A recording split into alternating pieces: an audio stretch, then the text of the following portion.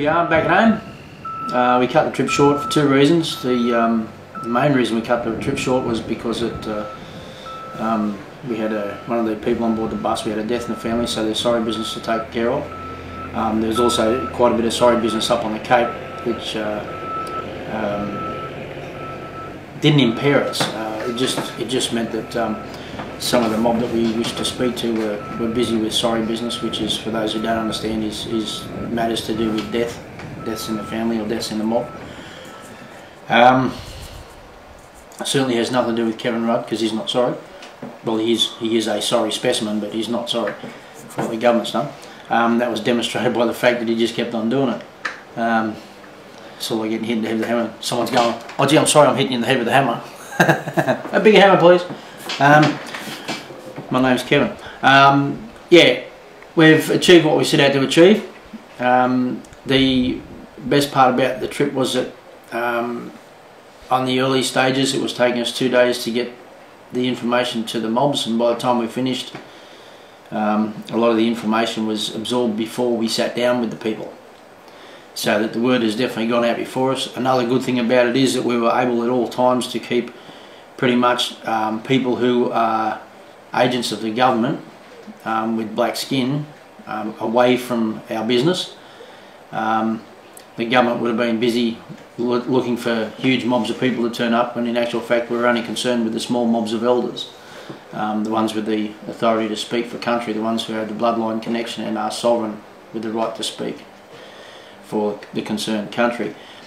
We spoke at um, various, at all times that we dealt with, we spoke uh, with elders at, at, the highest level.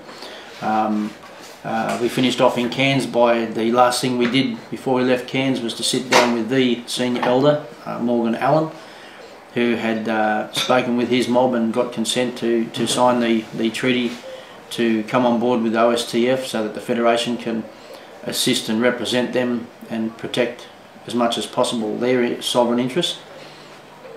So I suppose it all comes down to this. The message for whoever it is that ends up being the Prime Minister, or the so-called Prime Minister of the Commonwealth of Australia, which is somewhat of an enigma because the, uh, the term Prime Minister is not even mentioned in their own constitution. Um, so I don't know how this person claims to hold the title of Prime Minister when it's not provided for in the Constitution, but that's another story.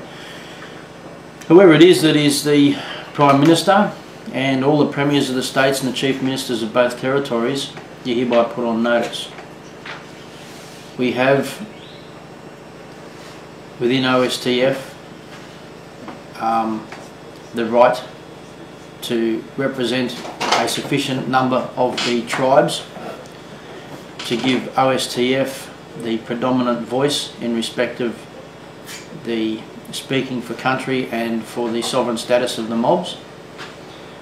That will be done under guidance and instruction from each particular mob as to how they intend to exercise their jurisdictions uh, jointly and, and, severally, jointly under OSTF or with OSTF, and as a part of OSTF, OSTF and sovereign and uh, separately um, according to their own law in their own lands. Um, the government is now squarely on the record. If you want to deal with a peak body that is representative of the majority of the mobs, as you would call them, we call them tribes because we understand under your law you must protect the rights of the tribes.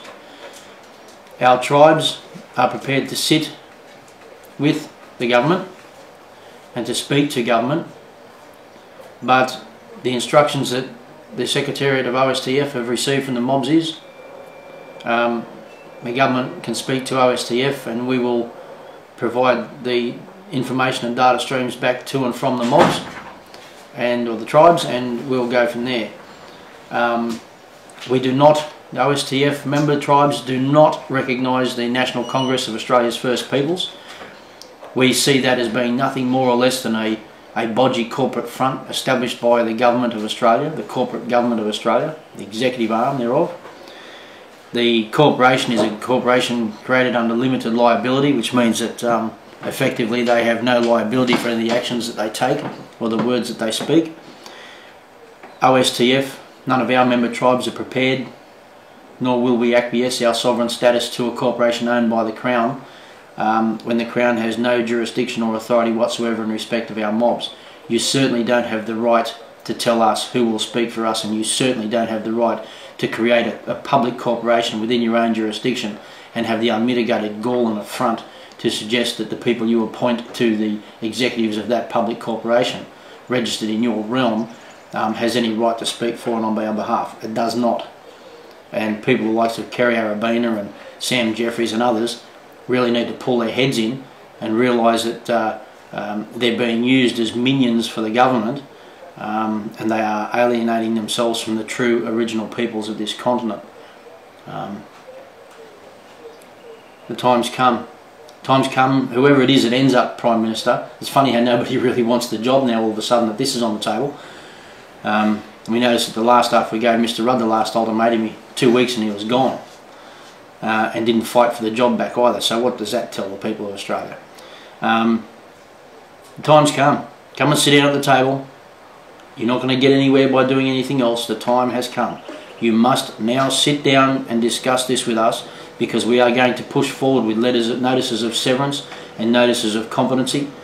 We are competent and able to administer our own affairs. We will be sorting out our issues relating to our lands behind closed doors, behind, behind our closed doors, and we'll give the government, governments or the, the rather the corporate um, states and territories and Commonwealth of Australia notice as to what the facts are relating to ownership and occupation and use thereof. We also give notice to the government it does not own our natural resources. The member tribes of OSTF are now fully aware and fully briefed of the fact that they own their natural resources and they have a right to either allow or deny the extraction, mining and other processing of those resources.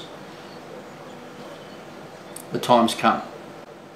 It's time to act honourably. You put our parliamentarians, or rather your parliamentarians, give themselves the title honourable. Let's see if they have the integrity to live up to the title, because to date you have not. You've attempted to defraud the people of Australia. You have attempted to defraud the sovereign tribes of the continent, of this island continent, and it's not going to continue. Now that we have the numbers and we have the upper hand, we will take this matter into the international jurisdiction and have it dealt with by international arbiters who are not paid purchasable quantities sitting on benches in courts owned by one of the parties, namely either the Commonwealth or the states or territories thereof.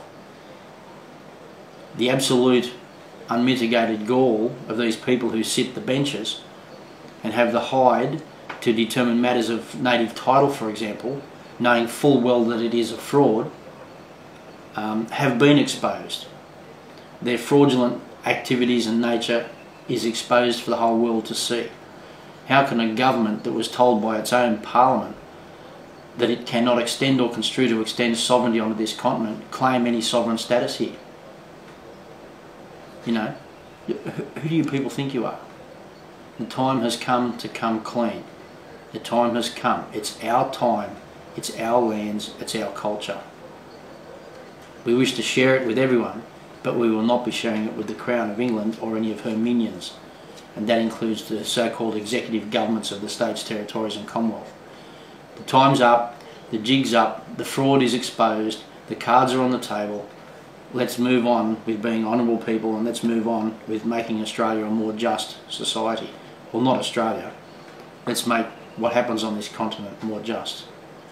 Australia is just a public corporation but that's another story.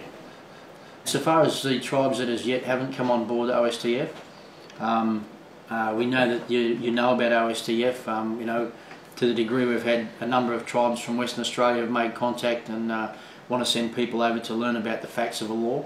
Um, we're, we're heading your way as soon as we can. Um, if alternatively you would like to, to come on board OSTF, um, have, have your elders, your bloodline connected elders, who are the um, signatories for your tribal council, have them issue a notice to OSTF and to the wider community that that they agree to, to come to the table of OSTF and sit down as equal sovereign um, member tribes um, and let's get on and do the business. Um, we, the only reason we haven't been to everyone is simply because we were limited in time and, and resources Um, and as we said earlier, there's there's sorry business going on around the place um, that needs to be attended to. But yeah, any of the mobs who who weren't able to make it, we had um, people from Western Australia turn up at um, Adelaide and and uh, Alice Springs and whatnot. They came across as much as possible. Everybody's welcome. All the tribes are welcome to send people um, or to just step up to the plate and, and become part of what we're doing. You want your sovereign rights protected against the Crown and the state, territorial and, and, and Commonwealth governments, um, then we can do that for you. But just contact us. Um, if you contact us, we can we can organise for the the appropriate um, uh, processes to be undertaken to bring you on board the OSTF. We the OSTF is not owned by anyone in particular. It's merely an organisation established for the purposes of bringing all the sovereign tribes together with a secretariat that can assist um, keeps keep the mobs informed and up to date and and uh, to commence and undertake appropriate actions for and on behalf of all of the mobs.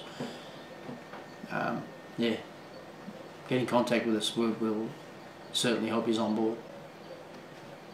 And I would suggest that seeing seeing we West Australia's um, um, supposedly a corporate state that uh, espouses the virtues of fair play and fairness and honesty and integrity to the ministers from South Australia who have passed legislation or given authority to mining companies to go ahead and destroy sacred burial sites and other sacred sites of value and interest to our mobs, we would advise you that it is probably wise to prepare yourselves because if you desecrate our sites our tribes under sovereign law will desecrate yours.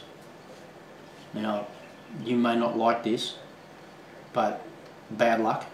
If you want to desecrate our sacred sites and be disrespectful to our people, we reserve the right as the sovereigns on the soil here to treat dis disrespectful and badly behaving guests, which is all that you are, um, with the contempt that you display towards us. So you put a bulldozer through one of our sacred sites, and we'll put a bulldozer through one of yours. You won't know when, you certainly won't be expecting it, but I'll guarantee you that it will happen. You do not have the right to desecrate our sacred sites. You do not have the right to remove our bones from the soil. Under mortuary law, you don't have any right to impede, impair or otherwise disrupt the spiritual practices of our people and the resting places of our mob. Um, if you want it, you'll get it. That's the bottom line. Um, you show disrespect to our religious practices, we shall show disrespect to yours. You show disrespect to our our elders in the ground, and we'll show disrespect to yours. Our elders have been in the ground since before the white man came here. According to mortuary law, the first law of the Jews yeah? Everyone has the right to protect their ancestors in the ground.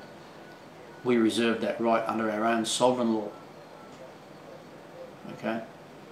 If you want to try and claim the ground because you put your people in the ground, okay, well and good, our people have been here longer. We have preeminent sovereign title, allodial title, over all the lands on this continent.